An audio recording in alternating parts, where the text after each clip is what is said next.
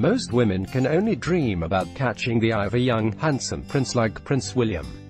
For Kate Middleton, this dream actually came true. It was when they were both students at the University of St. Andrews that they began dating, and it is difficult to imagine a time when they weren't a couple. Despite some rough times, including a high-profile breakup, Prince William finally asked Middleton to be his wife. The two officially became the Duke and Duchess of Cambridge in a spectacular royal ceremony that took place at Westminster Abbey and was broadcast live around the world. While Prince William and Duchess Kate have been together for so long that not many people think about their college years and the first meeting, surely, the couple themselves remember it well. As it turns out, Middleton was not immediately swept off of her feet the second she laid eyes on the future king. In fact, she was dating someone else at the time, and not entirely sure she was interested in Prince William. But what did Prince William think of Middleton? Prince William and Kate Middleton's college years weren't the first time they saw each other. Prince William and Kate Middleton, Indigo, Getty Images Many people assumed that the first time Prince William and Middleton saw each other was when they both began living in the same building at university. Yet this isn't the way things went down.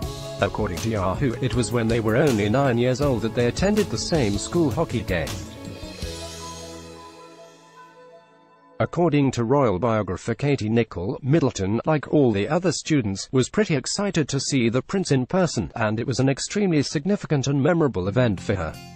The charity fashion show that changed things for the couple just about everyone knows the story of how Middleton was walking down the runway in a charity fashion show, wearing a sheer black see-through dress with lingerie underneath.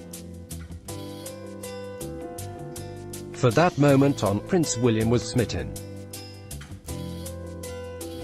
According to Hello, it was that particular night Prince William began seeing Middleton differently. As the two were only friends at that point, Prince William pursued Kate Middleton for a while before they became a couple. After seeing Middleton in a new light and realizing that he may want something more, Prince William began to pursue his future wife in hopes of beginning a romantic relationship.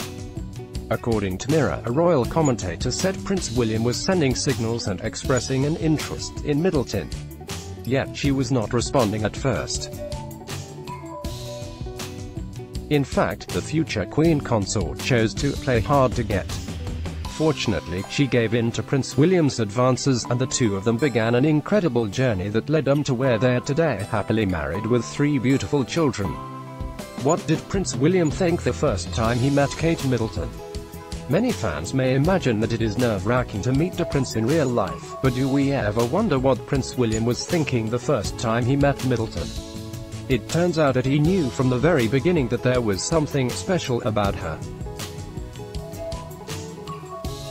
According to International Business Times, the prince knew that there was something he wanted to explore. The two of them had a great relationship from the very beginning, even though it was strictly platonic at first.